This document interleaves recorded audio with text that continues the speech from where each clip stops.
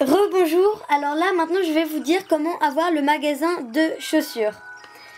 Il faut avoir dépensé 8000 clochettes euh, chez les sœurs euh, aux doigts de fée. Il faut avoir euh, passé 10 jours en tant que mère et ils se construisent tout seul sans vous n'avez pas besoin d'argent en 3 jours. À ce moment-là, vous pourrez avoir des chaussures et des chaussettes.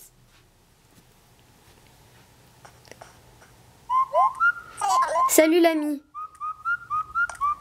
Voilà